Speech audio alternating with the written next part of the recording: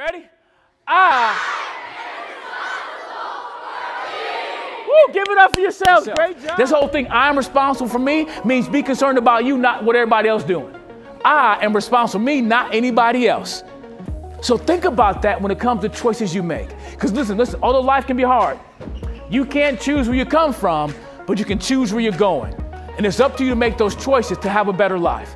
Because when you make a better choices, you will live a better life. So choose well